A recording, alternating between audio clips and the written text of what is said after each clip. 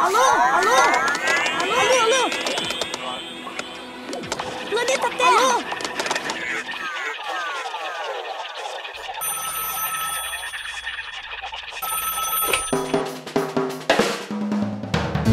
Alô? Alô, alô, seja muito bem-vindo a mais um episódio de podcast Alô Ciência. Eu sou o Lucas Andrade. Eu sou a Camila. E hoje a gente tá com o nosso professor aqui, né, da ecologia, um convidado que eu quis há muito tempo já trazer e hoje a gente trouxe uma desculpa só para trazer ele.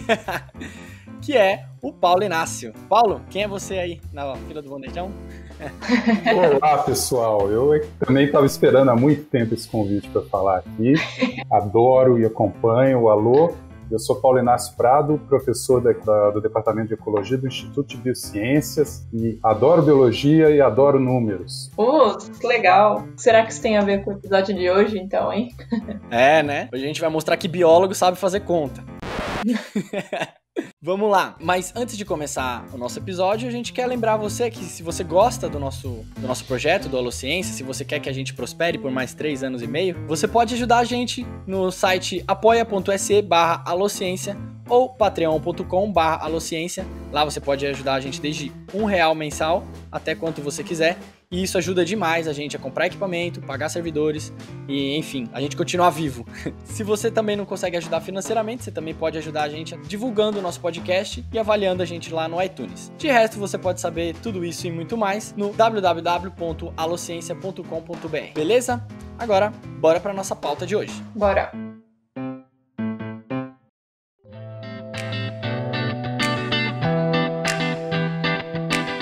Praticamente todos os dias estamos assistindo nos jornais algum dado sobre a pandemia da Covid-19. São noticiários anunciando o número de casos da doença, número total de mortes, taxa de mortalidade, porcentagem de leitos ocupados, etc. A primeira impressão que a gente tem a partir desses números sempre é simplificada. Impressões do tipo, hum, esse número é grande, ou essa taxa está crescendo, ou até algo como semana que vem isso pode mudar. Porém, esses números podem nos dizer muito mais informações do que isso. A gente pode organizar esses números, colocar em gráficos e tabelas, analisar com a ajuda de estatística, construir modelos matemáticos e juntar esses dados com conhecimentos científicos. Assim, esses números podem nos ajudar a analisar o passado, projetar um futuro e tomar decisões a partir dessas projeções. Pensando nisso, mais de 40 pesquisadoras e pesquisadores de diversas universidades, de várias áreas diferentes, se reuniram no grupo chamado Observatório Covid-19 BR. O objetivo principal da equipe é de fazer essas análises baseadas em dados oficiais, contribuir com autoridades responsáveis e informar a população a partir do ponto de vista científico. E é isso que a gente vai saber hoje. A gente vai saber um pouco mais sobre o trabalho do Observatório Covid-19 e para isso a gente trouxe o Paulo, que é um dos membros, né, Paulo? É isso aí. Conta um pouco mais aí sobre o Observatório Covid-19. Quem, quem é? Quem é esse observatório? Então, o observatório está sendo uma experiência riquíssima para a gente. Né? O momento é muito difícil, mas a experiência tem sido, vamos dizer assim, é, um alento nessa coisa triste toda que a gente está vivendo. O Observatório é um grupo voluntário, são, são pesquisadoras e pesquisadores, incluindo pessoas que já estão contratadas em alguma instituição de pesquisa, é, pessoas que estão fazendo seu pós-doc, estudantes de pós-graduação também, que se juntaram pelo anseio de tentar contribuir. Né? Então, são pessoas que têm de diferentes formações, tem físicos, matemáticos, biólogos, médicos, sociólogos, jornalistas, pessoas de formações variadas todas compartilham um anseio de colocar a serviço do combate à pandemia o conhecimento que tem. E também o que move muito o observatório, como já dá para perceber pela diversidade de formações de pessoas que compõem, é a vontade de construir um diálogo verdadeiramente transdisciplinar. Porque um problema complexo como esse, só com esse diálogo a gente vai resolver. Não adianta alguém achar que só com o que conhece, que normalmente está vinculado só a uma disciplina, eu sou biólogo, então eu sei tudo que precisa resolver, não vai conseguir resolver. Né? Problemas complexos como esse, a gente só consegue resolver com o diálogo transdisciplinar. Legal. E aí tem vários matemáticos, físicos, biólogos, tudo, e de várias universidades diferentes, né? De várias instituições. É, uma coisa muito legal também que tem no Observatório é que o núcleo original dele foi um evento que eu organizo com outra pessoa que também é, ajudou a levantar o Observatório, que é o Roberto Krenkel, da Unesp, do Instituto de Física Teórica, que é um evento anual, que é uma escola de biomatemática, que, que a gente já faz há mais de 10 anos em torno dessa escola, a gente, atrai, é, a gente acabou formando um, um, núcleo de pessoas que começam como estudantes no ano, no outro ano gostam tanto da escola que voltam para serem monitores, e a gente tem pessoas que já são pesquisadores contratados e continuam como professores convidados dessa escola. Então, para além de ser um evento que acontece, as pessoas vão lá e discutem um pouco como fazer matemática, conversar com biologia, virou um grupo que se conversa durante o ano inteiro. Né? O nosso grupo de Zap ele é eterno, ele não acaba quando a escola acaba, a gente tem listas de discussão, então foi muito fácil é, quando surgiu um, um problema concreto para resolver usando essas ferramentas, juntar o, o, o, fazer uma chamada, né, ligar o bate-sinal e todo mundo se juntou rapidamente para discutir como é que poderia ser feito isso. São pessoas que já se conhecem, que já estão acostumadas a um diálogo interdisciplinar, pelo menos entre matemática e física, e as coisas fluíram muito rapidamente. Nossa, que legal. Nossa, parabéns, primeiramente. E vocês estão tendo uma notoriedade bem legal, né? Inclusive estão sendo consultado, certo? Pela Secretaria da Saúde de São Paulo? Isso aí. A gente tem basicamente dois anseios, né? Informar bem o debate público, então prover para todo o público é, informações que ajudem a sociedade a tomar suas decisões. A gente tem é, convicção de que a única maneira de você tomar decisões sejam legítimas, que façam a sociedade toda se sentir é, participante, também convicta de que foram as melhores decisões, é que isso seja resultado de um bom debate público. Então, a gente tem uma frente que, com o auxílio de muitos jornalistas e muitas jornalistas, a gente tem conseguido levar, divulgar várias mensagens importantes, várias coisas que as pessoas precisam saber. Uhum. E tem uma outra, uma outra frente de trabalho que é propor é, às secretarias de, de Estado colaborações para tentar desenvolver, por exemplo, indicadores, maneiras de acompanhar ou até de projetar o comportamento da pandemia para tomar melhores decisões. Então, usar melhor a informação que a gente tem disponível para tomar boas decisões. E vocês têm bastante aliança com os estados? É, olha, eu vou te dizer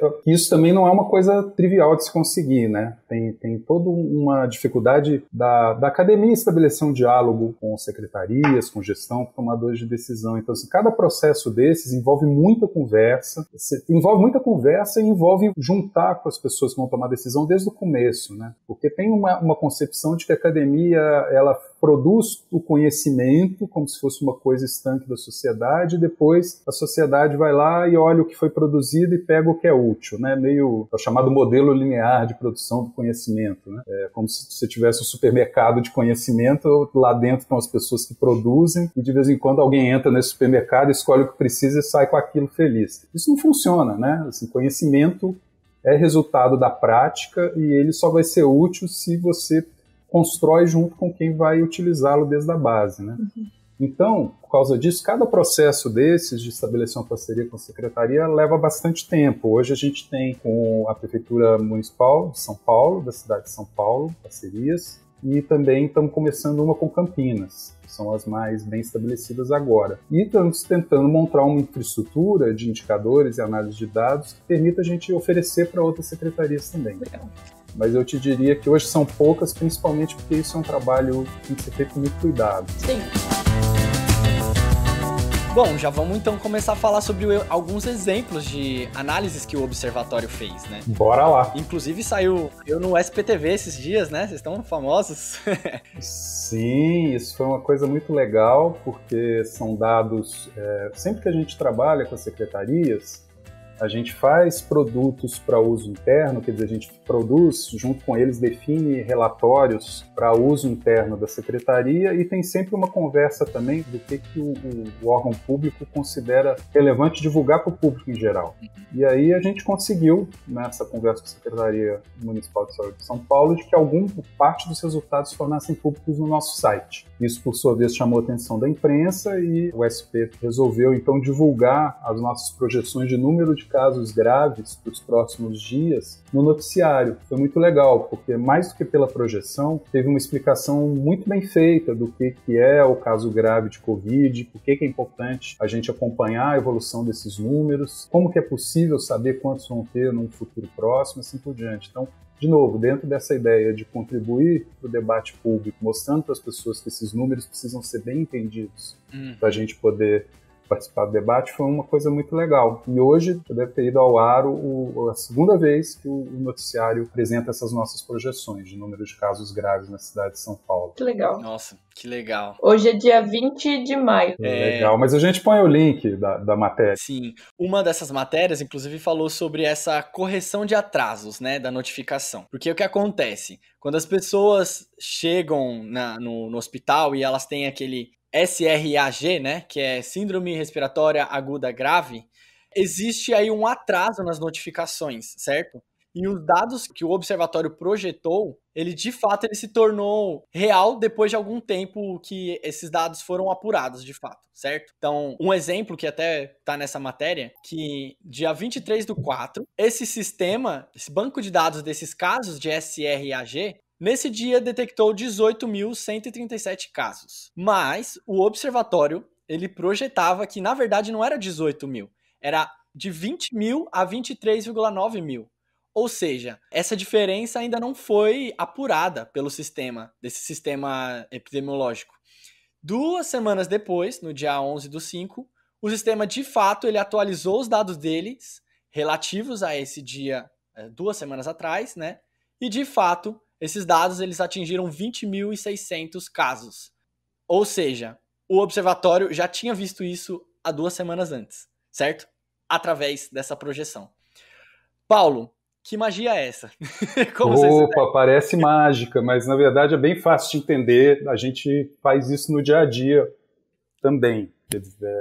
Então vamos começar. Senta que lá vem história, né? Vou começar do começo falando um pouco do, do, da notificação de doenças é, no Brasil ou no mundo, né? Quando você tem alguma doença grave, importante de ser acompanhada, todos os países têm sistemas de notificação, né? Que são bases de dados nas quais toda vez que surge um caso, deveria esse caso deveria ser registrado nessa base. Essa base fica disponível para o país todo, para as autoridades de saúde, para as secretarias, enfim, porque aí elas acompanham se está aumentando o número de casos, se eles estão mais afetando, por exemplo, idosos do que crianças e assim por diante. Então, são bases que registram os dados importantes para a saúde pública a respeito de diferentes doenças. Tem várias doenças que são de notificação obrigatória no Brasil, né? muitas mesmo. Né? Dengue, raiva, um monte delas. Né? Todas que podem causar algum, algum problema sério para a sociedade têm que ser notificadas. E aí, a Covid, como que está acontecendo a notificação dela? Ela é uma notificação que começa pelo quadro grave. O quadro grave é essa SRAG aí, que a gente de tanto usar já ficou mais íntimo dela e chama de SRAG. SRAG. É, o SRAG. Que nada mais é do que a sigla em português de SARS, né? Síndrome Respiratória Aguda Grave. Esse é o quadro grave mais comum causado pelo vírus da Covid-19 e hoje o Brasil tem um sistema de notificação que é todo caso grave vai chegar no hospital, né? E quando ele chega no hospital, a, a rede de atendimento para atendendo essa pessoa deve registrar, chegou mais um caso de SRAG aqui, nessa base de dados, tá? Logo depois, é, esse caso então é classificado agora como caso suspeito de Covid, por quê? Porque hoje a principal causa dessa síndrome respiratória aguda grave, que pode ser causada por outras coisas, é, inclusive por asma, por exemplo, não é nem, nem necessariamente é um microorganismo, hoje a principal causa a gente sabe que é a Covid. Né? Então, essa, todos esses casos agora passam a ser considerados suspeitos de Covid. Uhum. Por quê? Porque você só consegue comprovar que é um caso de Covid mesmo depois que sai o resultado do exame laboratorial. Então tem que coletar material, né? Normalmente é, você coleta do nariz, né? Da narina ali, esses dados e, e esse material vai para um teste laboratorial que é o teste de PCR que detecta se você tem um vírus ativo, aquela pessoa. Então tem um tempo entre a pessoa chegar, sentir os primeiros sintomas, né, ir ao hospital, o material ser coletado, esse resultado sair. E depois que o resultado sai, ainda pode levar mais um tempo para que esse resultado seja inserido na base de dados, porque precisa de alguém do hospital ou da vigilância eh, de saúde que receba esse aviso, olha, esse aqui é um caso confirmado de Covid, coloca aí na base de dados, a ficha da pessoa já está aberta na, na, base de dados, mas aí alguém tem que acessar essa base e digitar mais essa informação lá. Então tem várias etapas aí que levam um certo tempo, de tal forma que hoje a gente tem mais casos por aí, né, incluindo aquelas pessoas que sentiram sintoma e ainda não foram no hospital, as que já estão no hospital tiveram material coletado e ainda não chegou o resultado, aquelas para as quais já até tem o resultado, mas ainda não deu tempo da equipe do hospital digitar os dados. Então tem esse monte de gente que já está com um caso grave da doença e que não está na base de dados. Uhum. E aí fica o problema. Se você colocar lá número de casos, é, fizer um gráfico, vamos imaginar, é, vamos tentar imaginar esse gráfico, né? Você põe número, o tempo passando e o número de casos em cada dia. Hoje você vai ver um número de casos muito menor do que ontem nesse gráfico, se você só contar o número de casos que está na base de dados. E se você olhar anteontem, você vai ver também é, mais casos do que ontem. Por quê? Porque nos últimos dias, os últimos dias ainda não tem todos os casos que vão chegar. Alguns estão chegando. É causa falsa impressão de que está diminuindo. Que está diminuindo. E aí muita gente deve ter visto um raciocínio incorreto nas redes sociais, seja com o número de casos, seja com o número de óbitos. Então, assim, tipo, fechou o mês de abril, algumas pessoas, inclusive políticos que estão interessados em minimizar a quantidade de óbitos que a gente está tendo, tá falando assim, ah lá, tá vendo? Abril de 2020 teve menos óbitos do que abril de 2019. Qual que é o erro disso? Ele está falando isso logo depois do final do mês, e ainda não chegaram todos os óbitos na base de dados e, principalmente, não chegaram os resultados, que demoram mais tempo ainda. Uhum. Então, parece que você tem menos. Você tem sempre essa queda nos últimos dias, às vezes pode ser numa semana inteira, que dá a aparente impressão de que a doença está passando. Ela não está. É só você esperar mais um pouquinho que você vai ver que nesse dia vão ser acrescentados novos casos, novos óbitos, conforme o caso. Uhum. A boa notícia disso é que a gente tem ferramentas estatísticas para corrigir isso e, e, se aproximar mais da realidade. Quantos casos a gente tem? Uhum. Ô Paulo, eu tenho uma curiosidade com relação a isso. Tá. Por que que no Brasil existe essa defasagem? É uma questão de infraestrutura, uma questão de pessoal? Olha, qualquer sistema, a gente está falando aqui em termos bem gerais, né, é, de uma situação em que você tem um evento que acontece, em algum momento esse evento vai ser registrado numa base de dados. Né? Praticamente toda situação tem um, um, uma demora entre a ocorrência do evento e o seu registro na base de dados, nem que seja o tempo da pessoa observar e anotar. Uhum. Né? Nem quando você está olhando uma ave no campo, você de fato anota no seu caderno de campo exatamente, instantaneamente que a ave está ali. Uhum. Né? É, então é natural que qualquer sistema de notificação tenha uma demora entre o evento de interesse, que no caso é o surgimento a primeira evidência de que a pessoa está doente e o registro desse evento na base de dados. Isso é normal, inevitável. É, no Brasil, e aí, como eu falei, no caso de Covid tem várias etapas, né? Tem a pessoa chegar no hospital, ser atendida, o hospital digitar os dados dela, coletar o material, o material ir para o laboratório, voltar o resultado, e esse resultado ser lançado na base de notificação. Algumas dessas etapas, é, principalmente mais é, no início da pandemia, elas demoraram muito. E, então, hoje, eu acho que a principal fonte de demora que poderia ser minimizada é a rapidez com que você tem o resultado, coleta o material para fazer o teste, envia para o laboratório e recebe o resultado de novo. Uhum. Tá? Outra coisa que está se tornando cada vez mais preocupante é que, assim, à medida que o, o sistema de atendimento vai ficando mais sobrecarregado, a prioridade lá, claro, é atender as pessoas, né? E aí tem menos tempo para você ficar entrando dados no, no, no, banco de dados. Né? Então, muitos hospitais têm pouca, já tem pouco, está tá, tá sofrendo com, com, redução de pessoal, porque muitas pessoas também, muito, muitos profissionais da saúde, e aqui vai a minha super homenagem a todas essas pessoas maravilhosas que estão trabalhando, se desdobrando, e algumas deram a vida pelo combate à pandemia. Né? Muitos desses profissionais estão contraindo a doença, porque é uma doença altamente contagiosa, e essas pessoas se afastam. Né? Então, a gente ainda tem uma redução no, no pessoal na rede de atendimento toda, na rede hospitalar, que faz com que você tenha menos gente para muito mais doentes chegando. Tudo isso faz com que você não tenha tanta gente para para entrar os dados também. Uhum. Então, outra, outra fonte dessa demora entre o caso acontecer e ele chegar na base de dados é porque falta pessoal. Uhum. Né? Então tem sempre essa, essa defasagem no final, nos últimos dias, né? E aí vocês fizeram essa correção de atrasos, né? Isso. Então, o nome para essa, o nome em inglês para essa técnica estatística é nowcasting, né? Que é porque você tem o forecasting, que é você projetar uma tendência para o futuro. Nowcasting seria você dizer o que está acontecendo hoje, né? Já que a gente tem uma situação, é, é, é é a projeção para o presente. Né? Tá. Isso é uma classe de, de técnicas estatísticas, tem muitas variantes, mas a ideia básica é muito parecida com, a, com aquela situação de você ter um amigo, amiga, namorado, namorada, enfim, que sempre atrasa. Depois de um tempo que você aprende quanto, quanto que a pessoa atrasa, né? Então você, você começa a combinar, a pessoa pergunta, ah, que horas que vai ser o filme? Aí você fala que vai ser meia hora antes do que vai ser. para a pessoa chegar no horário, né? É, eu, porque, como, como, é que você está conseguindo fazer isso, né? Projetar para o presente, né? E, e, entrar no filme na hora certa. Você já conhece qual que é o atraso médio daquela pessoa e você se ajusta, né? Você conta com esse atraso e inclui essa correção na sua expectativa.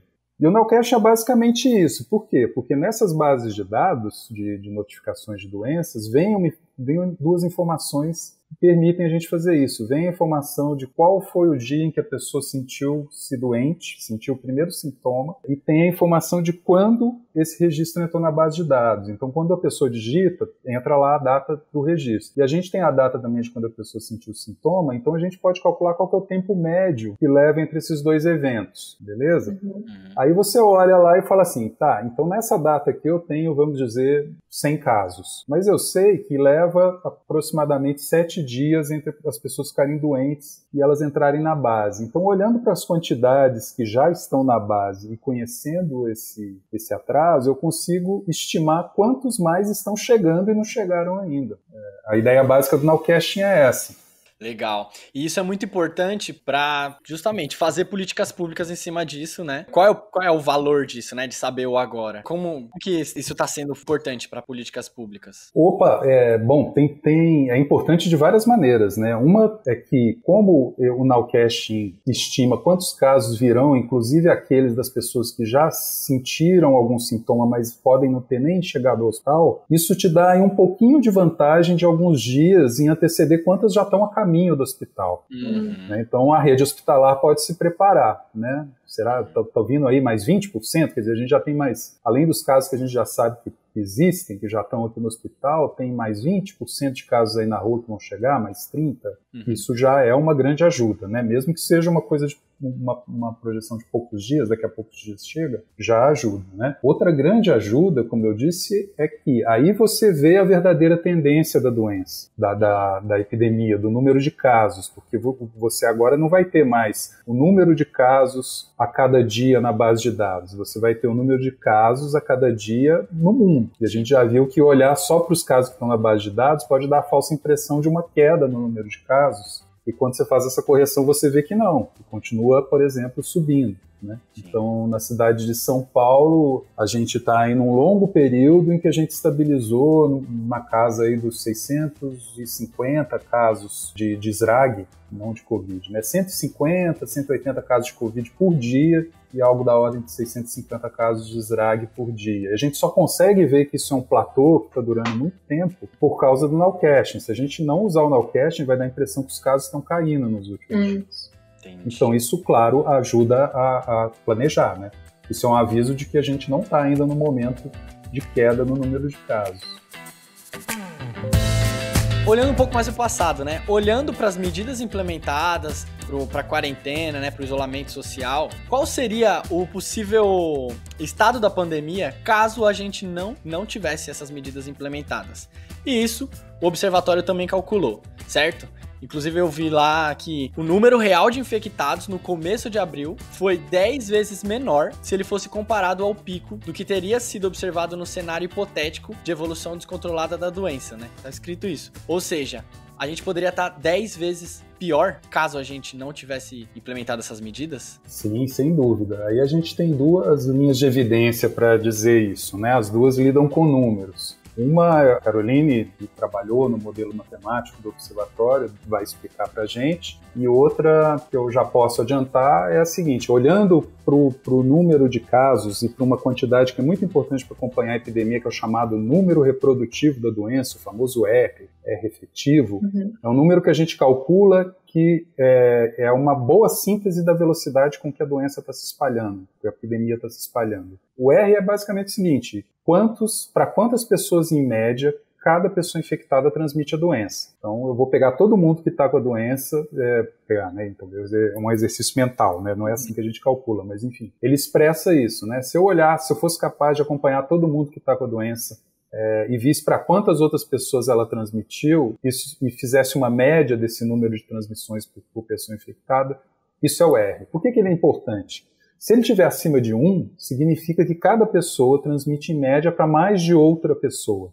Então, se ele for 2, significa que cada pessoa transmite para outras duas. Isso significa um crescimento muito rápido, porque essas duas vão transmitir para 4, as 4 para 8, e aí vai. Né? Então, esse é um número que você pode calcular a partir do, do, dos dados de casos, se eles são corrigidos por Nowcast, e aí a gente vê para a cidade de São Paulo, onde a gente teve medidas de distanciamento social, que não estão perfeitas, mas foram importantes, você vê claramente esse número que estava ali na casa dos 2,5, que é o que é normalmente é considerado o número é, para essa pandemia quando ela está sem controle, né? ali por meados de março, a partir de meados de março esse número começa a cair até chegar em 1. E é o que a gente conseguiu até agora com esse distanciamento social, uhum. ficar no 1, ou seja, a gente entrou nessa fase de número estável de casos mas já é alguma coisa, é uma grande coisa, né? Uhum. É, então isso olhando para os dados, né? Porque a gente, a gente olhando a posteriori o que, que aconteceu. Essa queda importante no número reprodutivo da doença, é, justo no, no período em que a gente começou a, a, a ter várias medidas de distanciamento social. E tem também o modelo matemático. Sim.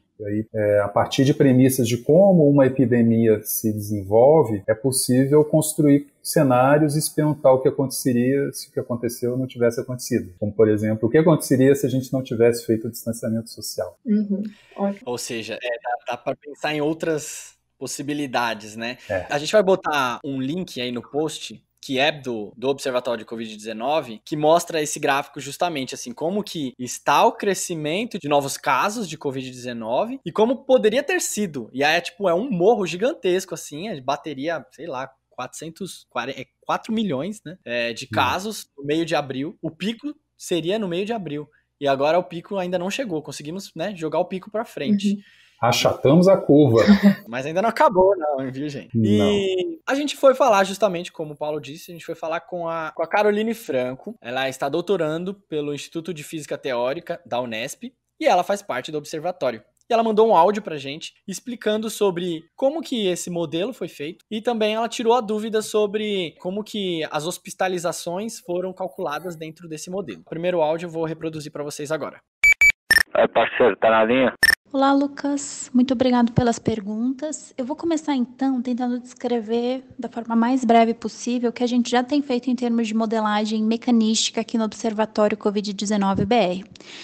Esse estudo é feito em colaboração com o Consórcio Internacional de Modelagem em Covid, o COMO, iniciado pela professora Lisa White, que é nossa colaboradora na Universidade de Oxford. Nós utilizamos então o um modelo tipo SAR, em que a gente coloca subpopulações de suscetíveis expostos, recuperados e infectados, estes últimos ainda divididos entre assintomáticos, sintomáticos e diversas classes de casos severos hospitalizados, compondo mais de 10 compartimentos do modelo. Cada um destes compartimentos ainda vai ser estratificado em 19 faixas etárias, conforme a classificação demográfica do IBGE. E cada um destes extratos vai gerar uma equação diferencial que compõe o modelo como um todo. Mas para além dessas equações que a gente escreve, a gente precisa ainda de dados para estimar os parâmetros do modelo. E estes dados são em geral obtidos a partir de estudos clínicos internacionais, por exemplo, taxas de transmissão, é, tempo de desenvolvimento de sintomas, incubação, hospitalização, mortalidade e parte também a gente consegue obter a partir de dados de incidência é, na cidade de São Paulo. Então, esses parâmetros equações formam a base do modelo E em cima dessa base, a gente faz algumas estimativas da cobertura e eficiência é, das medidas de distanciamento atualmente implementadas na cidade de São Paulo. Então, a gente consegue uh, simular o efeito dessas intervenções comparadas com outros cenários, por exemplo. No site do observatório, a gente já está comparando o efeito das medidas atuais com o que aconteceria se a gente não tivesse feito absolutamente nada. É, lá a gente já consegue observar que casos ativos e mortes acumuladas poderiam ter sido 10 vezes maiores. E a gente conclui também, se a gente rodar as simulações a mais médio prazo, que o levantamento das medidas atuais no final do mês de maio, por exemplo, poderia gerar um novo pico de incidência da doença que praticamente anularia os esforços feitos até agora. Então, é para esse tipo de comparação qualitativa entre cenários a que se serve esse tipo de modelagem. Quer comentar alguma coisa, Camila? Uma coisa que, eu, que me chamou a atenção, mas mesmo na, desde a fala do Paulo, é que quando ele fala, por exemplo, sobre o R e sobre a taxa de transmissão da doença, eu estava pensando em como que isso varia de região para região, né? Principalmente porque as, os países, e dentro de cada país você tem as geografias muito diferentes, com estruturas sociais diferentes, e isso vai afetar a transmissão da doença. Mas é legal saber que existem também coisas que são mais a longo termo para serem mudadas, né? Por exemplo, mudar, por exemplo, uma, uma região de favela que tem alta aglomeração, mas existem outras atitudes, por exemplo, o isolamento social, que consegue reduzir também essa taxa de transmissão. E é muito interessante saber como isso pode ser usado inclusive para falar ou para alertar as autoridades sobre o momento que essas medidas de relaxamento podem ser tomadas ou não. Eu acho que isso é muito interessante saber como a gente consegue utilizar esse tipo de ferramenta para de uma maneira prática, muito visível, ser aplicado para a sociedade, né? Que isso geralmente é uma das grandes questões que a gente tem como cientista, tipo, para que que serve esse conhecimento que você está desenvolvendo? Ah, eu queria comentar que, que isso que a Camila falou é muito legal, né? Em síntese, eu acho que a mensagem aqui é o, o ser humano, é, por causa das suas capacidades cognitivas, ele não está totalmente à mercê da natureza. Bom, nenhum ser vivo está, né? O R, a taxa de transmissão, qual é o R efetivo, ela depende muito mais de como a sociedade se organiza e responde a ela, e dentro dessa resposta está a produção de conhecimento que possa ajudar a tomar decisões, do que é uma coisa que a gente vai ficar aí assistindo acontecer. Né? Então, tanto a ciência quanto os rearranjos sociais que a gente precisa fazer, os profundos e os mais fáceis de fazer, eles só dependem da gente, né? Só dependem da sociedade. Uhum. É que a princípio a gente poderia inclusive pensar que depende da doença, né? O vírus tem uma, essa capacidade, então está aquém da gente de fazer alguma coisa. Eu acho que isso tem sido, tipo, talvez uma das posições de alguns governantes, de achar que isso é uma é do vírus, então a doença tem essa característica, não tem nada que a gente possa fazer para conter isso. Então isso vai acontecer inevitavelmente. Mas não, existem sim ferramentas que a gente pode usar para tentar diminuir essa taxa de transmissão.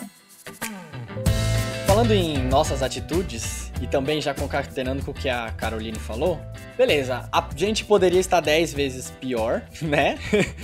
E o pico já poderia ter passado e seria um pico muito grande e totalmente terrível, né? Mas, segundo as projeções que vocês fizeram, também link no post, o pico, se a gente continuar do jeito que tá, ele vai estar mais ou menos ali no fim de maio, começo de junho, certo? E será, vai ser um morrinho e depois vai continuar descendo, certo? Quer dizer então que a gente pode relaxar, Paulo? Não. E eu vou começar aqui a minha cruzada. Estou numa guerra santa contra o pico, contra a ideia do pico né? Uhum. Porque, bom, se a gente aceita que a sociedade é capaz de achatar a curva, e aí eu acho que dentro dessa, desse papo que a gente já teve aqui, né, que legal que o, o ser humano tem recursos é, cognitivos e materiais para não deixar a gente a mercê dessa catástrofe que seria a pandemia correndo solta, né? Você que está aí em casa, que conseguiu em algum nível fazer distanciamento social, algumas pessoas têm condições de fazer isso mais, outras menos, mas eu acho que muita, muita gente fez o que pôde é, para manter esse distanciamento social. Cada cada um de vocês que está ouvindo aí também corresponsável por a gente ter conseguido achatar a curva e ter poupado tantas vidas na cidade de São Paulo e em vários outros lugares do Brasil. É, e por que, que eu acho que então o pico deixa de ser uma discussão relevante? Porque se a gente consegue achatar a curva, a existência ou não do pico é também responsabilidade nossa, ele não está dado, ele não é uma coisa que vai acontecer de qualquer jeito, ele depende das nossas decisões. Então, ele, ele também, a existência de um pico e a altura dele, ou seja, quantas pessoas vão, vão se infectar, e, por consequência, quantas podem morrer, é, é, uma decisão da sociedade. Então, a gente tem que mudar o foco da discussão do pico. Não é mais assim, o pico já passou, como se ele fosse, é, vamos dizer, um furacão. É só você ficar escondido em casa protegido, esperar ele passar, depois que ele passou, a gente vai embora. Não, infelizmente não. O distanciamento social mantém muita gente sem contrair a doença, esse é o propósito do distanciamento, né?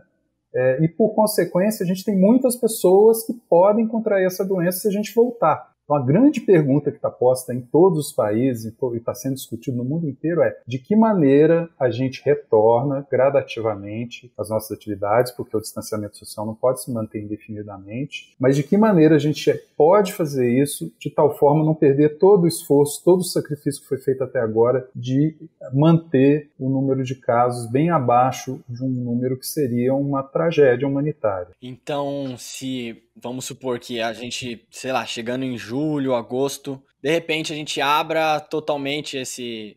relaxa essas medidas e libera, sei lá, show, escola e tudo mais. Ainda assim é possível ocorrer aquele pico gigantesco e aquele mesmo cenário de, assim, o SUS quebrar e tudo. Ainda é possível. Isso, que isso Sim. É o que eles estão é. chamando de a segunda onda, né? Exato. Ou quantas ondas forem necessárias. Inclusive na Europa, posso falar pela Europa, que está começando as medidas de relaxamento, mas os governos já estão se preparando para a segunda onda da, da Covid-19.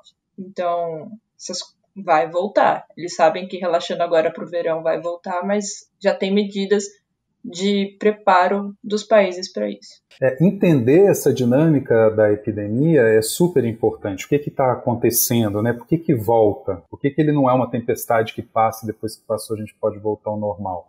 Porque a, o, tal, o tal do pico, é, ele acontece por quê? Porque você tem uma doença, no começo ninguém está infectado, aí chega um, dois infectados e começam a infectar outros naquela velocidade inicialmente muito alta, né? Porque você tem um monte de pessoas que podem pegar, até que um momento você tem tantas pessoas que já tiveram a doença, e aí vamos supor que é uma questão ainda em aberto, e depois que a pessoa é infectada e sobrevive, ela fica resistente à doença, ainda é uma questão em aberto, não está totalmente resolvida, pode ser que se perca um pouco dessa imunidade, mas vamos supor que não, então você vai ter resistentes, uhum. e à medida que aumenta o número de pessoas que já tiveram a doença, sobreviveram e ficaram resistentes, chega uma hora que tem tantas dessas pessoas que não é possível mais a transmissão, porque tem é como se essas pessoas formassem uma barreira.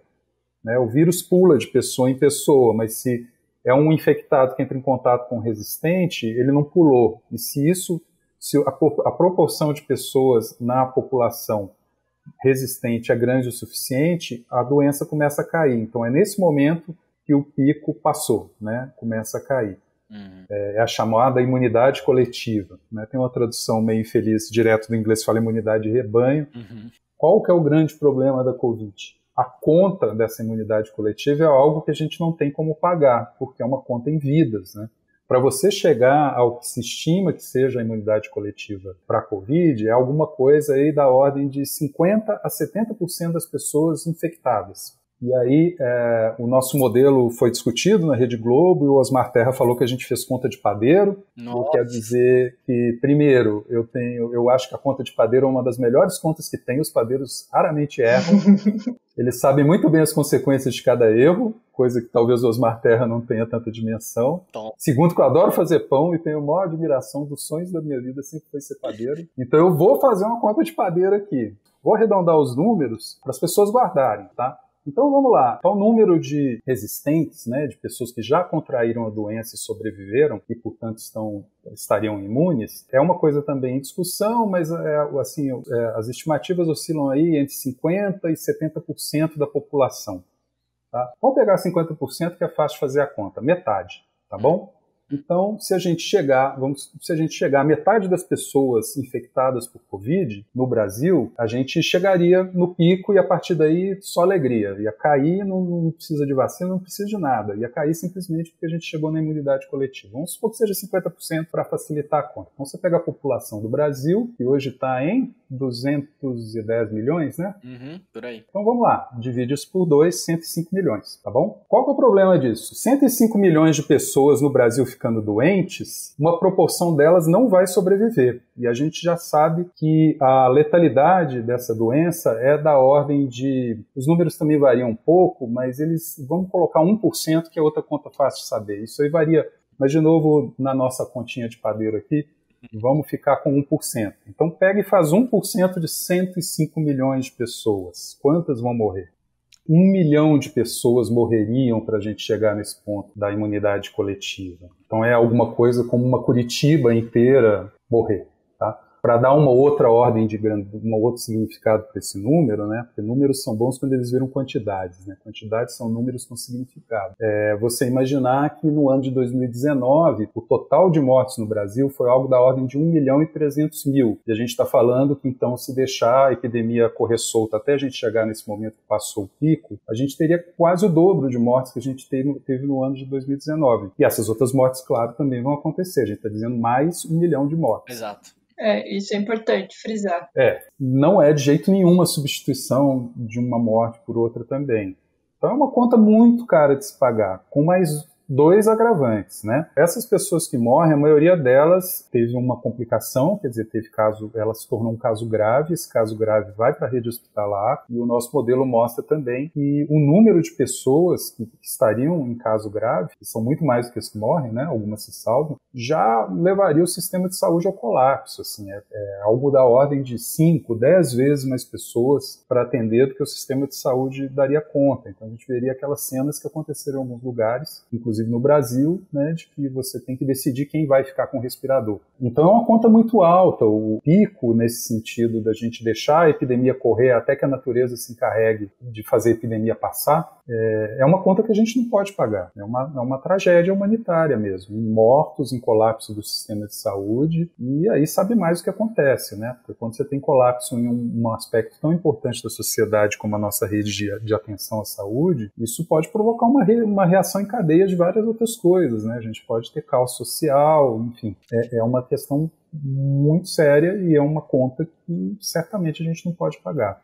Então, chega de falar de pico, vamos falar de como a gente vai manter a curva achatada, que maneira a gente conseguiria substituir o distanciamento social por algo que seja tão efetivo quanto para manter a curva achatada, uhum. até que chegue uma vacina, né? Boa. Ótimo. Então você já está concatenando justamente essa coisa de subir o tanto de casos e mortes e também levar em consideração o limite de leitos de hospitais e UTIs. Exato.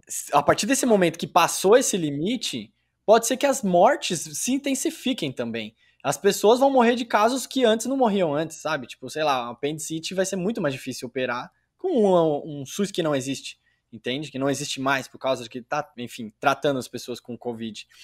Isso também foi levado em consideração em um dos gráficos que vocês colocaram também ali no site do observatório, né? E a Carolina ela mandou também um áudio explicando como que o modelo levou em consideração essa limitação de leitos de hospitais e UTIs. Vamos ouvir agora. Referente à questão sobre hospitalizações, no nosso modelo a gente tem cinco compartimentos relacionados a casos severos de Covid, isso é, aqueles que necessitam de fato de hospitalização. Então, tem os casos que precisam de hospitalização em leitos comuns e conseguem a vaga, tem os casos que o necessitam e não conseguem. Tem os casos que necessitam de unidades de tratamento intensivo e conseguem a vaga. Tem aqueles que precisam dessa mesma UTI, mas conseguem apenas um leito comum. Finalmente, tem os casos que precisam de UTI, mas não conseguem vaga alguma. Então, a diferença entre a dinâmica desses compartimentos vai se dar pelas taxas de entrada e saída em cada um deles. Então, por exemplo, as taxas relacionadas à não hospitalização é, devido à falta de vagas serão calculadas a partir do número de leitos existentes nos registros do Cadastro Nacional de Estabelecimentos de Saúde. É, outra coisa que a gente estima é a letalidade básica é, por hospitalizações em leitos comuns e leitos de UTI, é, a partir dos dados de hospitalização por Covid no município de São Paulo. Então, isso a gente consegue obter por faixa etária, mas é, a gente precisa corrigir essas taxas para os compartimentos em que uh, os casos não conseguiram a hospitalização necessária. Então, nesses compartimentos, a letalidade vai ser proporcionalmente maior. É, nessa simulação que o Paulo fez aqui rapidamente, que resultou em um milhão de mortos, né? Estava levando em consideração 1% de letalidade. Mas a partir Uhum. que não tem mais leito, não vai ser 1% a letalidade. Não vai ser. Vai ser bem mais. É importante levar, mostrar que isso foi levado em consideração também no modelo e, enfim, não, não devemos chegar nesse ponto, né? Bom, nossa conversa tá agora se aproximando do fim, mas antes eu acho que a gente poderia já linkar todo esse trabalho do observatório com o dia a dia das pessoas e chegar a algumas conclusões, né? Eu acho que a partir desse papo a gente pode chegar a conclusão principal é que a análise de dados ela gera uma análise mais refinada. Então, de fato, a gente não só olhar para os números de uma maneira bruta não nos, nos, ajuda necessariamente a conclusões exatas. A gente precisa primeiro trabalhar esses dados estatisticamente, fazer esses modelos matemáticos para refinar. Cada número pode nos dizer coisas e nos orientar melhor nas políticas públicas, né? E também nas atitudes individuais, né? O uhum. que mais que vocês acham? Uma coisa que eu acho legal que eu aprendi com essa conversa é um pouco sobre entender de onde vem a informação que a gente vê no noticiário, né? Já que a Covid-19 foi até pro, pro SPTV aí. Então, quando você vê aquele dado pronto na televisão ou no jornal, você entende que por trás disso existe todo um processo de, de coleta de dados e de análise de dados. Ou seja, eu, o resultado que você está vendo é uma, um somatório, um conjunto do método mais o resultado, que é o seu dado, que nada mais é do que um processo científico no final das contas, né? E aí, obviamente, com relação ainda somado a isso, você ainda tem limitações nesse processo e nesse, nesse processo científico que a gente está observando. Então, tem limitação, por exemplo, do tempo de coleta de, de dado, o tempo que vai levar para esse dado ser jogado na base, o tempo que os pesquisadores levam para desenvolver e rodar o modelo. Então, junto a isso, você tem essas limitações e isso ajuda, quando essas limitações são inseridas no, no na análise de dados, você, você ainda cons, você consegue ter no final um, uma estimativa mais próxima da realidade. E aí isso já linka com o que o, que o Lucas tinha acabado de falar, que é usar esse resultado final para desenvolvimento de políticas públicas. Olha, o que eu diria, a gente não teve tempo ainda, isso na verdade ia ocupar um podcast inteiro, para falar sobre, ok, então o que, que a gente faz enquanto não chega uma vacina, né? Eu acho que ficou claro que a curva se mantém achatada graças ao esforço da sociedade, e se esse esforço cessar, a gente volta a ter uma segunda onda, né? É, não dá muito tempo para falar isso, mas o, eu acho que a mensagem principal é o ser humano é capaz de coisas incríveis e ele já foi capaz de controlar muitas outras doenças. Sociedades humanas conseguiram isso. A gente está falando aí de uma coisa que não tem nem dois séculos, que é a descoberta de que muitas dessas doenças são causadas por coisinhas minúsculas também vivas que a gente não via e não entendia como é que uma pessoa que estava bem hoje amanhã estava muito doente, né? Isso é uma descoberta incrível, né? Que pautou, que fez mudar vários hábitos nossos, reestruturou a nossa sociedade. O banheiro que a gente usa hoje é resultado disso. Antes ele era muito diferente. O hábito de lavar as mãos e tantas outras coisas que hoje parecem corriqueiras para a gente. Se uma pessoa de 200 anos atrás viesse na máquina do tempo e olhasse aqui, ia achar a gente muito estranho. Né? Então, assim, hoje a gente olha e fala assim: nossa, o que, que vai ser a vida depois da Covid? Eu vou ter que mudar muita coisa. Possivelmente, a vida não vai ser mais como era antes, é, pelo menos até ter uma vacina, talvez mesmo depois de ter uma vacina. Aí vamos lembrar, por exemplo, de uma coisa mais recente, como o HIV, que mudou completamente os hábitos e até a afetividade, a maneira das pessoas se relacionarem. E hoje a gente já meio que naturaliza isso e fala, tá, é assim que a gente agora tem que conviver com esse vírus, né? Então é para dizer, depende da gente, né? A, gente, a criatividade humana tem que ser colocada a serviço da, da gente superar mais essa, esse desafio que a gente está enfrentando aí.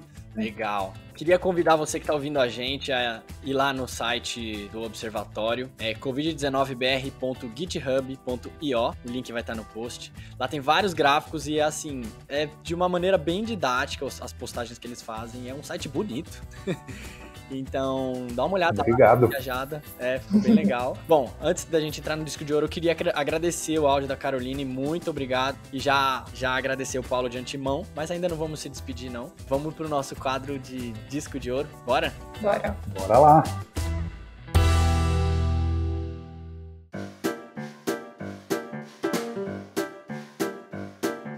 Quem começa? Pode ser você o convidado. Ah, o convidado começa? Beleza. Vai falando. Então eu vou, vou dizer o seguinte, né? Com essa pandemia eu deixei de ir a um dos meus lugares favoritos da minha querida cidade de São Paulo, que é o Cinema Belas Artes, né? Onde você encontra cinema diversificado, foge um pouco do, do, do blockbuster, da, né? do cinema só de uma linha. Não que o cinema americano também tenha coisas boas, tem sim, mas eu acho que tem muito mais no mundo, né? Não consigo mais ir lá e para mim foi muito legal lembrar, na verdade, que eu já tinha assinado o streaming do Belas Artes. E, e eu estava sem assistir há muito tempo e passou a ser a minha maneira de também ver outras produções, né, para não ficar preso só nos streamings tradicionais que são fortemente da linha americana e, e poder também descansar um pouco e me distrair um pouco dentro de casa, né, uma alternativa super legal super recomendo, chama Belas Artes, Alacarte Belas Artes. É, e não é, é, é, bem baratinho por mês e, e, você tem acesso a filmes incríveis, né? Clássicos, cultos e filmes de tudo quanto é país, é, dirigidos por homens, por mulheres. Então, uma diversidade muito maior que a gente encontra em outros streamings. E fica a dica. Ótimo. Legal. Legal. Camilinha? Qual que é a sua? Eu vou recomendar o Greg News, que ele fez sobre. chama Leveza. O Greg News é um canal, né, do, do Gregório do Vivier. E esse episódio, especificamente, eu achei bem legal, porque ele fala, inclusive, da importância da arte e da cultura nesse momento de isolamento. E ele fala que se tem, se o pessoal da linha de frente está lá, são os artistas que estão ajudando a manter essas pessoas sãs nesse momento além de todas as pessoas que estão em casa fazendo a sua parte. Então, se você não assistiu, eu recomendo que você assista, é bem emocionante. Essa é a minha dica. Nossa, tô entendendo demais. Eu fiquei pensando muito, assim, você, quem é artista, quem canta, principalmente, cara, assim, vai ficar um bom tempo sem fazer show, né? E aí, uhum. depois que eu vi a live do Emicida de 8 horas e 20, aí eu entendi o papel dele. cara, ele me manteve teve 8 horas e 20 muito feliz, sabe? é um papel muito, muito forte. É, sem arte não tem jeito, né? Exato. Fundamental. Entrando nessa mesma linha, quero recomendar um livro para colorir, repintar, repensar e recriar, feitos pelo coletivo do Corre, que é de uma galera aqui do Grajaú, grafiteiros, galera que faz bastante arte. Eu conheço principalmente o Wesley, que ele participa do Corre. E ele juntou vários artistas de periferia, vários desenhistas, grafiteiros, quadrinistas, e botou todas as artes deles em um livrinho em PDF que serve para você imprimir na sua casa e dar para uma criança, um adolescente, colorir a arte da galera de quebrada da Zona Sul de São Paulo. Vou botar aí o, o PDF disponível. E o, a minha arte, eu dei a minha contribuição, tá lá também. Eu dei um, um desenho lá para colorir. que massa. Então, Legal. No, no, no, PDF aí, imprima e dá para uma criança que você gosta aí.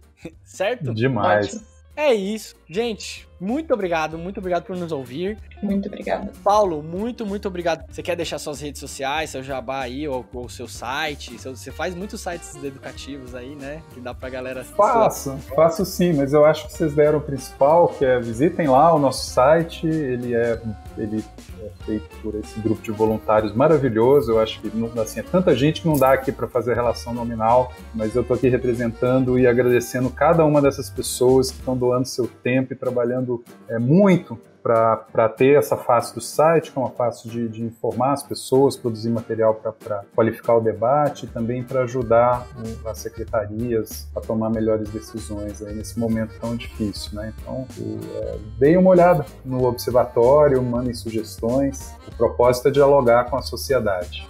Ótimo. Legal. Legal. Camila, muito obrigado por participar mesmo aí sendo quase meia-noite. é, quase meia-noite, realmente, 11 meia. E é isso, gente. Se vocês gostaram do episódio, também pense novamente em entrar no apoia.se barra Alociência. A gente merece, a gente está trabalhando toda semana para isso. E é isso. Muito obrigado. Até a semana que vem ou quando tivermos mais fichas. Falou! Falou, obrigada. Obrigado, gente.